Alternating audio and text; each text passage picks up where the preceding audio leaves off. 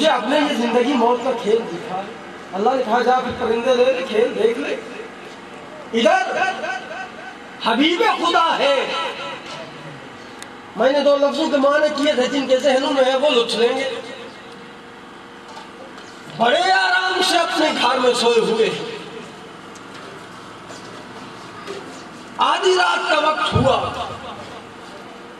अल्लाह ने कहा, मेरा हबीब, आ मेरा घर देख। हबीब कहता नहीं, मेरे पास टाइम नहीं।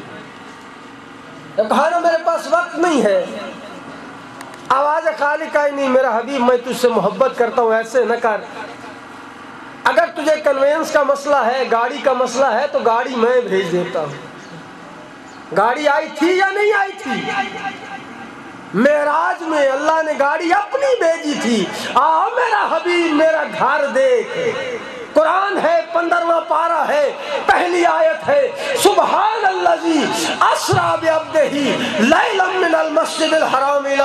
अक्सल्लजी। पाक है वो जात जो अपने अब्द को ले गई मस्जिद हराम से मस्जिद अक्सा तक। क्यों? क्यों लेके गई? लेनो याहू, मिन आयातिना आफाक। हम तुझे सादा लफ्जों में अगर तर्जुमा करूँ तो अल्लाह यही कह रहा, मेरा हबीब, मैं तुझे अपना घर दिखाना चाहता हूँ। सलवार पढ़े मोहम्मद मोहम्मद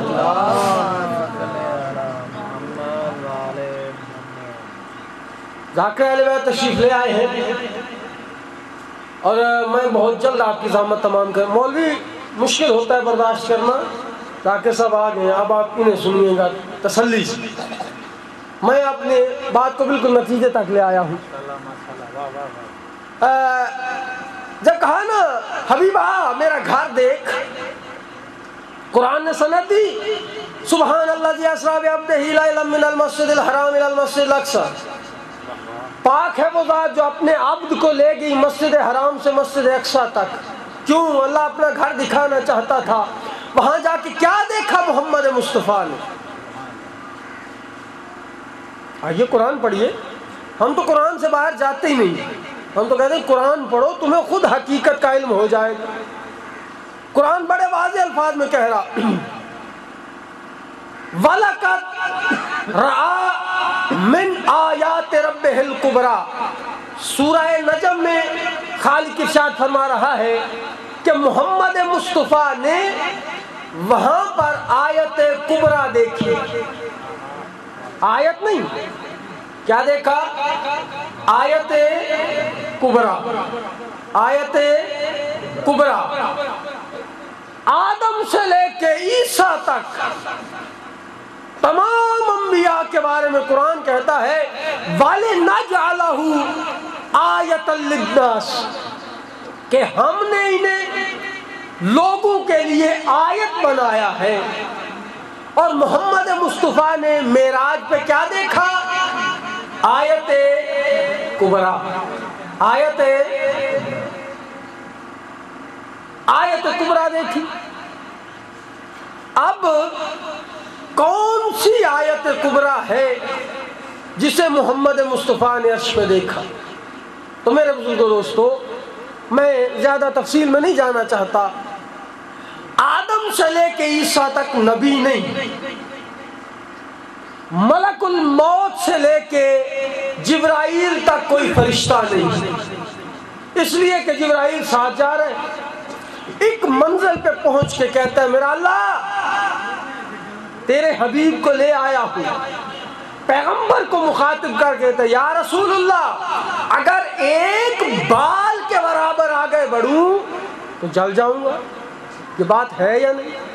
ऐसे ही है ना जी जो समझते हैं ऐसे ही मिलके नारा है नारी दोनों ड्यूटियाँ कर रहा हूँ ना, नारे भी खुद लगवाने हैं, मजलिस भी पढ़ना है। तो मेरे बुज़ुर्गों, दोस्तों, क्या किया कि देखो, अगर एक बाल के बराबर भी आगे बढ़ जाऊँ तो जल जाऊँगा। अब किसी जयीफ से जयीफ रिवायत में यह नहीं मिलता कि मोहम्मद मुस्तफ़ा ने यह कहा हो। कि जिब्राइल, अगर तू आगे नहीं जाता तो मुझे तो आगे का रास्ता ही नहीं आता। मैं भी तेरे साथ ही पीछे चला जाता हूँ। मैं आधी रात को उठूं, पहुंचूं, किसी के दस, दरवाजे पर दस्तक दूँ, यार मुझे यहाँ मंगवाल में काम है, आप मेरे साथ चले। रास्ते में जाके मैं उसे कहूँ भाई आप आगे चले जाएँ, मैं पीछे जाता हूँ। अच्छी बात है। जबरील ने ऐसे ही नहीं किया। आधी रात को मोहम्मद मुस्तफ़ा को साथ उठाया, गरम नरम बिस्तर से उठा के साथ लिया। जब एक मंजिल पे पहुँचे, अब कहते हैं, जी, या रसुल्ला मैं आगे नहीं जा सकता। अगर आगे जाऊँ तो मैं जल जाऊँगा, मेरा रहता कुछ नहीं। आप जाए? इसका मतलब यह हुआ कि मोहम्मद मुस्तफ़ा आसमान के रास्तों के वाकिफ बस नतीजा दे रहा हूँ, बात खत्म हो गई। मोहम्मद मुस्तफ़ा आसमान के रास्तों के वाकिफ थे। अगर वाकिफ न होते तो जिब्राइल के साथ पीछे नहीं गए। कोई तारीख नहीं बताती कि मोहम्मद मुस्तफ़ा भी जिब्राइल का पीछे रह जाना, मोहम्मद मुस्तफ़ा का आगे चले जाना इस बात की दलील है कि मेरे मोहम्मद मुस्तफ़ा आसमान के रास्तों को जानते थे। अब मैं मौजू के साथ टच दे के, नतीजा दे के बात खत्म कर रहा हूँ। मैंने आयत पढ़ी है कि अल्लाह जब किसी आयत को उठाता है तो उसकी जगह पर उस जैसी आयत रखता है या उस से बेहतर आयत रखता है। मेरे बुजुर्गो, दोस्तों बाद अज खुदा, बुज़ुर्ग तो ही किस्सा मुख्तसर। अल्लाह की बात के बाद अगर कोई बुज़ुर्ग तरीन हस्ती है तो वो मोहम्मद मुस्तफ़ा की जात। मोहम्मद मुस्तफ़ा से बढ़ के है कोई नहीं। अब जो भी मोहम्मद मुस्तफ़ा का जानशीन बन के आए, जो भी मोहम्मद मुस्तफ़ा का वसी बन के आए, जो भी मोहम्मद मुस्तफ़ा का खलीफा बन के आए, वो कम अज कम कम अज कम सिफात मोहम्मद मुस्तफ़ा वाली रखता हो। हैदरी। वो कम अज कम सिफात मोहम्मद मुस्तफ़ा वाली रखता हो। तो हम उसे नायब भी मानेंगे जानशीन भी मानेंगे वसी भी मानेंगे खलीफा भी मानेंगे। उसमें सिफात कम अज कम मुस्तफ़ा वाली होनी चाहिए। जिस तरह वो आसमान के रास्तों से वाकिफ था इसी तरह वसी भी आसमान के रास्तों को जान, अगर उसे मसला पूछने जाए और कहे, बैठो, मैं अपने बेटी से पूछ के आके बताता हूँ तो हम तो नहीं उसे मानेंगे। वसी तो वो होगा कि जो कहे, पूछो, जो चाहते हो आओ हम ये मजालिस सजा मिंबर इसीलिए सजाते हैं ताकि दुनिया को हकीकत का मालूम हो। हकीकत क्या है मेरे बुज़ुर्ग दोस्तों? अल्लाह जब किसी आयत को उठाए तो उसकी जगह पर उससे ऐसी रखता है या उससे बेहतर रखता है।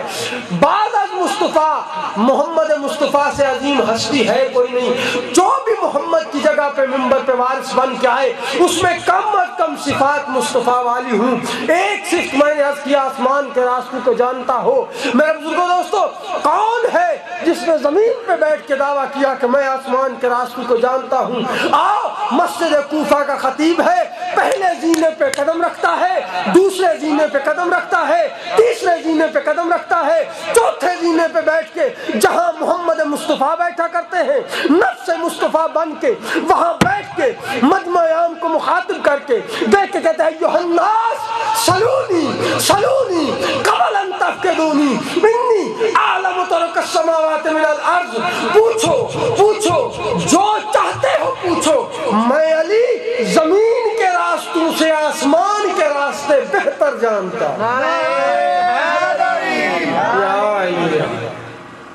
लेकिन मेरे बुज़ुर्गों, दोस्तों, दुनिया ने अजमत अली को पहचाना नहीं। अगर दुनिया अली को पहचान लेती जहराजादियाँ बाजारों और दरबारों में न जाती। हम रोते सिर्फ़ इसलिए हैं माहजा है, किसी नबी के बेटे दीन की खातिर जितने रसुआ नहीं हुए, जितनी मुस्तफ़ा की निवास कभी किसी दरबार में, कभी किसी बाज़ार में, किसी चौक में लोग पत्थरों से इस्तेकबाल कर रहे हैं। तेरा दीन पे लगा कुछ नहीं, मोहम्मद के घराने का बचा कुछ नहीं।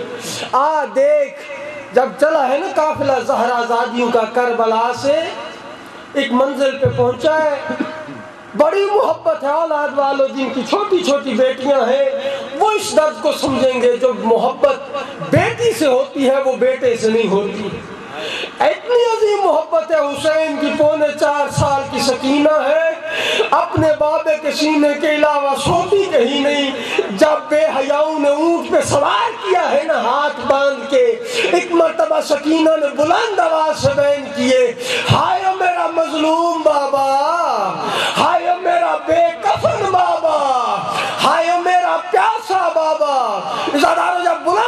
से बयान किए ना, साहिब किताब कहता है, अलविकाया वाल हवादिस फारसी में सात जिल्दों में मक्तल की किताब है। वो कहता है कि बेहया शिमर को इतला दी गई कि ये बच्ची खामोश नहीं हो रही। अगर चुप नहीं ना करेगी बच्ची तो इस सरदार काफिला कहते हैं, अगर बच्ची खामोश न हुई तो इस काफिले में हलचल मच जाएगी। लोग इनकलाब बर्पा कर देंगे। इस आधार बच्ची के बैन सुन के शिमर करीब आए हैं। आके कहते हैं, उस बागी की बे, बे, बेटी चुप कर जा। जब नहीं ना मखदूमा चुप हुई जुल्म का तमाचा मारा है बेहया ने सकीना के चेहरे पे। साहिब अलविकाया और हवादिस कहते सकीना ऊँट से ज़मीन पे गिरी। जब ऊँट से ज़मीन पे गिरी है अपने एक एक लफ्ज का जामिन हूँ। जब ऊँट से गिर गई है ना मखदूमा सकीना ये काफिला लेके आगे चला गया। अगली मंजिल है कसर बनी मकातिल। वहाँ जाके उन्होंने आराम करने के लिए नेजे ज़मीन में गाड़े। साय में चले गए। जहरा जादियाँ धूप में बैठी हैं। ये आराम करने के लिए अगली मंजिल पे चलना चाहते हैं। ये इमाम हुसैन का नेजा जो था ना, ज़मीन में गड़ा हुआ था। एक बंदा करीब आया, चाहता है कि इमाम का नेजा लेके आगे चले। नेजा आगे नहीं चलता। दूसरे साथ मिला, सर आगे नहीं चला। चार आदमियों ने मिलकर ज़ोर लगाया। लेकिन इमाम हुसैन का सर आगे नहीं चलता जब नहीं ना चला, बेहया शिमर को इतला दी गई कि इमाम का सर आगे नहीं चलता। ये ताजियाना लेके वहाँ पहुँचा जहाँ मेरे मौला सज्जाद कमर झुका के बैठ। पहला ताजियाना सज्जाद की कमर पे चला। कहते, बता, तेरे बाबे का सर आगे क्यों नहीं चलता? मेरे मौला देख के कहते, मेरे बाबे के सीने पे सोने वाली पीछे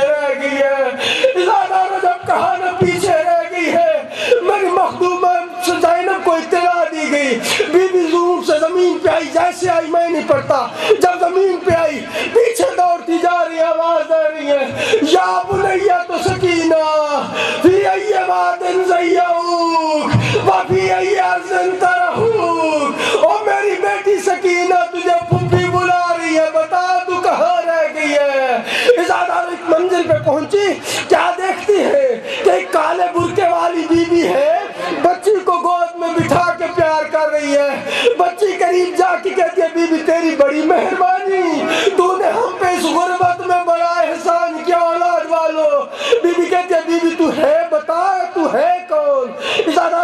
ने ये नहीं बताया मैं कौन हूँ। चेहरे से निकाब उलटी। निकाब का उलटना था। बेटी की तरफ़ मखदूमा की तरफ़ देख के कहते हो मेरी बेटी